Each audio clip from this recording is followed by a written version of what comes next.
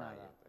Clot va néixer fa 60 anys a Granollers i la seva tasca com a crític d'art del diari El País va crear escola, amb uns textos que van suposar un estil nou i trencador.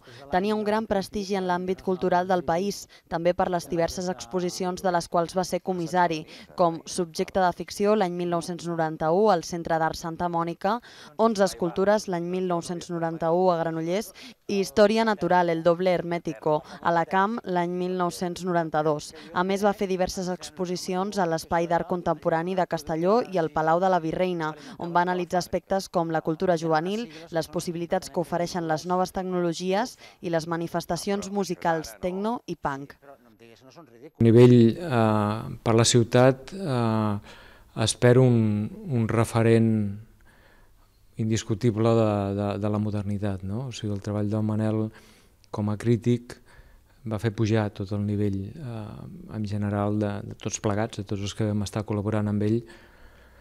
Eh, ell va transcendir el fet local, o sigui, perquè la seva categoria intel·lectual eh, no es pot parlar d'un crític de Granollers, sinó que és un crític a nivell internacional i jo crec que deixa un gran buit en aquest sentit, no? Vull dir, perquè era, per tots era un gran referent.